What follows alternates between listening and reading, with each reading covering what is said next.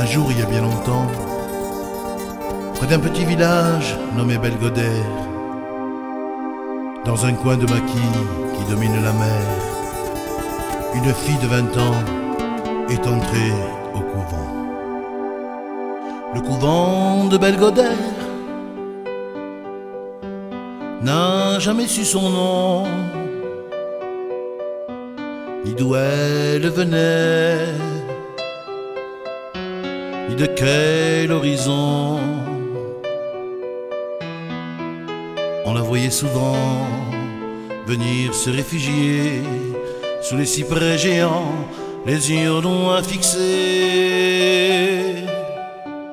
Le couvent de Belgodère n'a jamais su pourquoi des larmes dans ses yeux qui brillaient quelquefois. On disait que c'était peut-être une princesse qui s'en venait cacher un amour en détresse.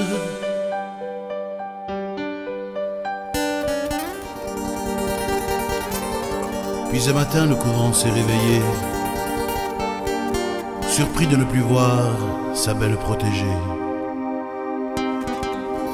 Elle était repartie comme elle était venue, sans un mot et sans bruit. Le couvent de Belgodère a vécu bien longtemps,